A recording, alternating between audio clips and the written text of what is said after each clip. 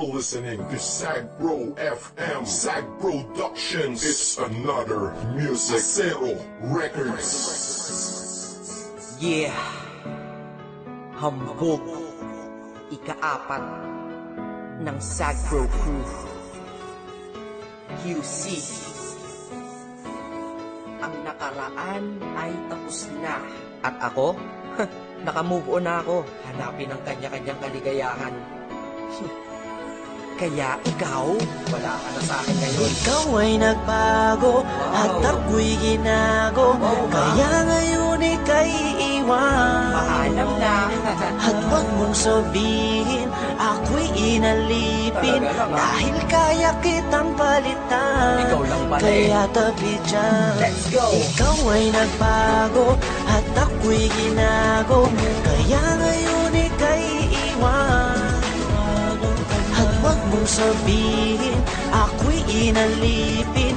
Dahil kaya kitang palitan Kaya tabi dyan. Yeah, isa ako sa taong nasaktan na tila ba inalipusta? Nang minahal ko puso ko ay para bang tinusta? Dahil niloko niya ako, ang relasyon tapos na. Umiiyak ako sa paghinga, kinakapos na. Kahit wala na nga kami siya ay kinakamusta. Kamusta ka? Bibigyan pala kita ng pusta. Pagkatapos ng gatang ito sa akin laos ka. Dahil nabang ako ay malungkot mag-isa. Ikaw naman ay maligaya sa tabi ng iba. Mga naloko mo, isa ako sa nakalista Kaya mabuti sa aking buhay ay naalis ka. Dahil naloko ng maraming beses nilang isa Sa wakas ang puso't isip ko ay nagkaisa. Nadamat na isip dapat nang limutin kita Dahil tao din ako na dapat lang sumaya Di ba? Ikaw ay nagbago at ako'y ginago Kaya ngayon ika'y iwan.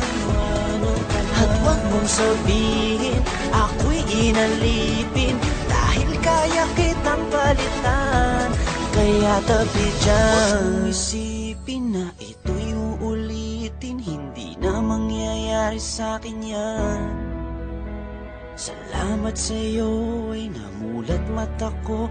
Pag-ibig problema lang ang dala niya. Problema, may solusyon lahat yan para sa akin. Kung walang solusyon, eh